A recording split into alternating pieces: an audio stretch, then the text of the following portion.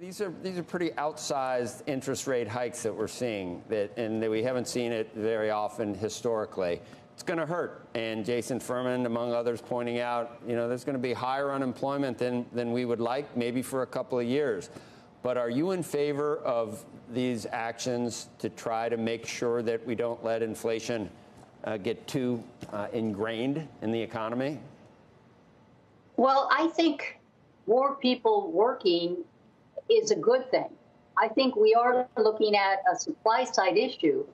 So if higher rates cause businesses to fold and people to get fired, I don't see how that helps resolve um, inflation caused by by too little output. Um, I think it, it doesn't make much sense to to engage in monetary tightening if you don't have a handle on reckless fiscal policy. So, so you you have right, right. now monetary fiscal working against each other. They well, should be better.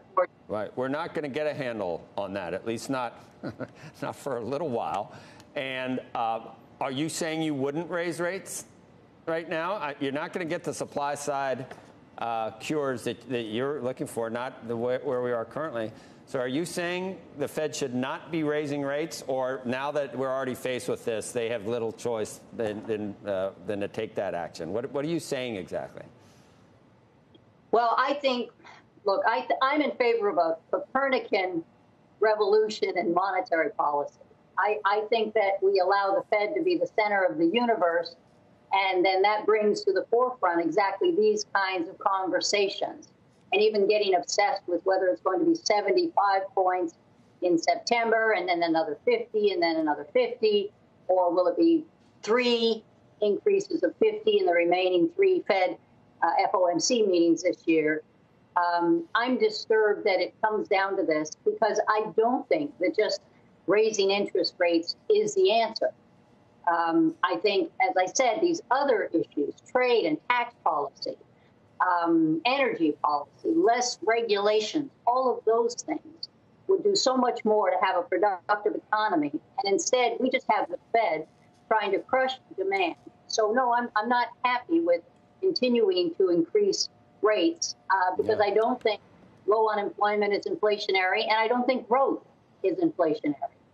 But I understand that because we are fixated on the messaging from the Fed the Fed feels it has to to live up to this uh, tough approach and prove it's all Volcker. And we also see the ECB having to raise rates. Finally, they have a positive interest rate going to, to 75 basis points, but they're still considerably behind our own interest rate. And so there are still these effects on the dollar euro rate. Shepard Smith here. Thanks for watching CNBC on YouTube.